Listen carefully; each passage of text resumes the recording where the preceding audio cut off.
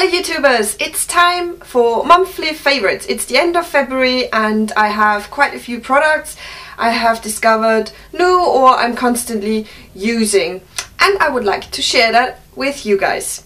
So I start with face products and primer. I love my number 28 serum primer and the way I've been using it recently is to pop it underneath my eyes as kind of a primer for my under eye concealer thereafter and that works great. It just feels so nice and hydrating, especially for the under eye area. So I do use still my eye cream and I let that set for about 15 minutes I then go in with the Hourglass number 28 primer and it's gorgeous and the product that works really well with it is the Charlotte Tilbury The Retoucher. I've been using this product continuously since I got it and I really really love it. I got the number one fair because I wanted something lighter for my under eyes but the number one is definitely too light for me. I can't wait to get number two but first I finish that up because if I get number two now I won't finish that one up. Anyhow, these two products together for underneath my eyes, especially in the colder weather and when it's windy, they are just great together under my eyes. Great, great combination. The other complexion product I would like to talk to you about a little bit is a powder that I found and I love, love, love this powder. It's the By Terry Hyaluronic Acid Hydra Powder. It's just a translucent powder. Let me show you packaging is a bit messy. I just um, pop a little bit into the cap or into the lid and then I pick it up with the brush from there. But this powder is gorgeous. It makes my foundation really stay on longer. It sets my foundation well. And even though I slap it on my face, because with this powder I can, with a big fluffy brush and I'm very generous with applying this powder. And sometimes because I'm trying out lots of foundations all the time, if I find the foundation doesn't sit right on my skin and I apply this powder, it makes any foundation look so nice. So I'm absolutely in love and that's my number one product and find in February. Highly, highly recommend everyone to check this powder out. It's gorgeous two foundation samples and foundations I've been trying. My good old Estee Lauder Double Wear Foundation. It's just an oldie but goodie. I love that foundation. And I wanted to get a sample to see if I still love it so much. I used to have it in Fresco and the one the shade I have now is Desert Beige. But I think if I would get that in full size I would get more of a yellow toned one. To just counteract the um, redness on my face a little bit. And then another foundation I was able to try is the By Terry Densiliss with double S at the end and I've got the shade number 5. Now I'm still debating a little bit because here in the UK it costs 75 pounds which is quite expensive. It actually reminds me a lot of the YSL Youth Liberator foundation. I'm currently I'm trying out the samples I have to decide which one I like better. So two foundations I really like this month were the Estee Lauder Double Wear and the By Terry Densiliss foundation. Let's move on to eyes. What have I been wearing? I don't want to bore you guys, but I still have been wearing my Tom Ford Orchid Haze eyeshadow quad so, so much. I just really love that and it's such a pretty everyday look for me. So Tom Ford Orchid Haze is still a huge favorite of mine. I wore it so much. And most of the time, if I didn't wear the Tom Ford Orchid Haze, I wore the Naked 3 palette. And especially the Naked 3 palette I liked wearing with my Maybelline Color Tattoo in nude pink, the matte one which came out in a limited edition, the pink one. This is such a great base for these eyeshadows because it's pinky toned also. And I'm wearing the Naked 3 palette today on my eyes again. The colours I like most out of this palette are definitely the darker ones. I really like the Black Heart. I'm wearing that in the outer corner today. I really like Dark Side for just blending out in the outer corner, a little bit in the crease. Dark Side is a gorgeous eyeshadow. And Liar. Liar is so beautiful and actually these three eyeshadows I really like wearing them together for a little bit of an everyday smoky eye. I love these three eyeshadows. These are my definitely my favorite out of this palette. The other eyeshadow I wore a lot and I'm wearing this on my lid again is Dust. But this eyeshadow it's very glittery and it hasn't got a strong base color to it so that works perfectly over the nude pink color tattoo or any kind of pinky base. Alone without a base, I don't really think this works too well. It's right at the top here, you can't even see it too well. But over a base, I really like that eyeshadow. And obviously the Limit is a great blending shade for up on the brow bone. My favorite look with this palette is definitely Dust in the inner tear duct, Strange up, up on underneath the brows, Limit to blend everything else, layer all over the lid and dark side on the outer corner and darkening up with black heart. That's my favorite favorite look and I did this look actually, that was my first look I did with it and I linked the video down below, my first impressions video. There I have kind of a little tutorial thrown in also. And today I'm wearing Strange in the Inner Tear Duct, dust all over the lid, I'm wearing Factory on the outer corner blended in, darken it up with Black Heart and blended it out with Limit. Yeah, it's a good palette with rosy tones. So a palette I wouldn't always wear. Just when I feel like I want a really nice neutral eye with a little bit of a rosy undertone, it the Naked 3 works well for that. In combination with the nude pink color tattoo. These two I've been wearing a lot. If I didn't wear my Tom Ford Orchid Haze, which I Oh, I'm so obsessed with this quad. And the eyeliner I really liked wearing with the Naked 3 palette, also again in the pinky purpley scheme, is Macro Violet by MAC, the gel liner.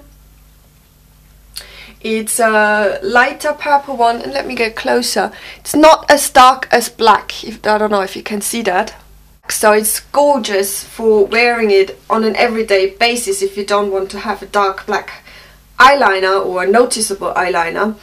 This one worked great with the Naked 3 and I really liked wearing these three products on my eyes together. Right, I jumped from face products to eye products, now I jump back to face products because um, I have a few blushes I would like to talk about and also a highlighter. I've rediscovered my MAC Hush cream color base. It's a beautiful, beautiful cream highlighter, perfect for every day, not too no noticeable. You can set it with powder to even tone it down a little bit more. You can set it with another shimmery highlighter for a really nice shimmery effect. And it doesn't disturb any cream product I put underneath, which is so important for me because it's very, very creamy, but it stays on. So yeah, an oldie but goodie, my MAC cream color base in Hush. And these creamer color bases by MAC are really nice products. And two blushes I would like to show you. One is an oldie but goodie, is the NARS Orgasm Blush. And yeah, I mean it's one of my all-time favorite blush and my go-to blush if I don't know what to wear. It just makes my cheeks look so nice and it brightens up my complexion. And actually what I do with the Hush Cream Color Base, I blend it a little bit further down onto the cheeks and go over it with this blush. Just looks so so pretty and shimmery and glowy. Absolutely gorgeous. And the other blush I picked up in February is the Charlotte Tilbury or end of January or February Charlotte Tilbury. They are called Cheek to Chic Swish and Pop blusher in Sex on Fire. Let me show you the back of it. It's got the two tones in it Comes with a mirror. It's really chic and nice. It's kind of a maroon burgundy plastic case with rose gold writing on it and her logo Charlotte Tilbury. Why do I love this blush? First of all, the color is great. I mean, it's a perfect kind of neutral, a little bit pinky, but very neutral cheek. It is matte, but still it is very, it feels nice on the cheeks and um, it stays on it stays on and that is a very important factor for me because a lot of blushes don't stay on on my skin. But this one I have no problems whatsoever. Most of the time I do swirl both shades together or I put the darker one at the back of my cheeks and the lighter one pop it on my cheeks. So these are the two colors swatched separately. That's what they look like. But as I said most of the time I just swirl them together and this is what you get when you swirl them together. Charlotte Tilbury blushes are really nice. I, I was surprised. I didn't think I would like Charlotte Tilbury blushes. No, let me rephrase that. I thought, oh, Charlotte Tilbury blushes, they look cute, they have a cute case, it's nice. but I didn't think that I would like it that much. The texture is nice and that they really stay on. So yeah, this is my two cents about the Charlotte Tilbury blushes and I think I will definitely pick up some more colours in the future. The last few products I would like to talk to you about are some lip products and two products I have already talked about in my Hourglass review are the two Hourglass lip products I picked up in the US. I will link my Hourglass review video down below. Yeah, I mean these two products are so great. The Hourglass liquid lipstick in rose I just really love that color how it looks on my lips how it wears I really really love it and I love the fact that it looks matte on my lips and the Hourglass Femme Nude lipstick in number 5 this is the perfect lipstick for me to have in my handbag. And as you can see the tip is already a little bit slanted because I really have used that so so much. This is the swatch here. Really really nice texture. Easy to apply. Very very nice. Here's a swatch of the liquid lipstick in rose. If you want to hear more about these or if you want to see them on me then go and check out the Hourglass review where I do a demo of these two products also and the last item is another lipstick and it's the my first Tom Ford lipstick I've picked up and I'm wearing it today it is number 04 Indian Rose. And as you can see, it's a very nice kind of rosy neutral lipstick and the formula of these lipsticks, oh, they are, oh, I love the formula. They're so moisturizing and hydrating.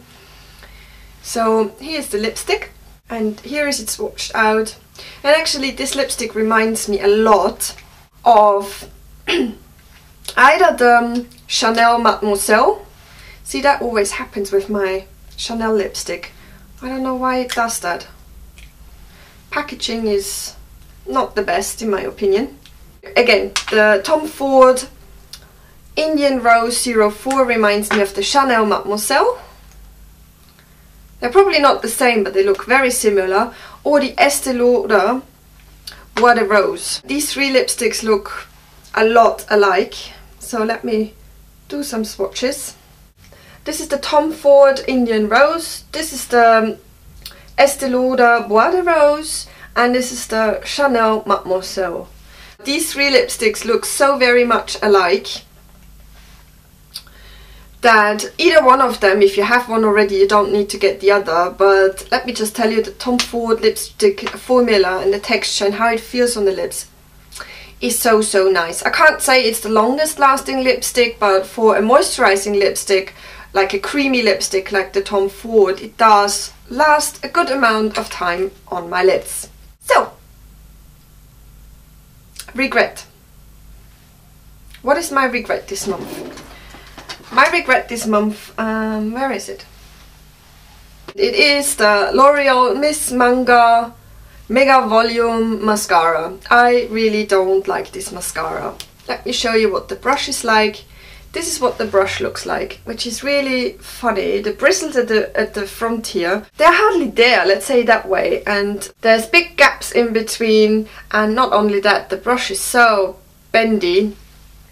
Application of it is not the nicest. The formula is okay, but with this applicator or mascara wand, I just don't like it. Once I wore it all by itself, and I must say my husband even said, what mascara are you wearing today? You're not gonna wear that mascara again because your lashes look really awful.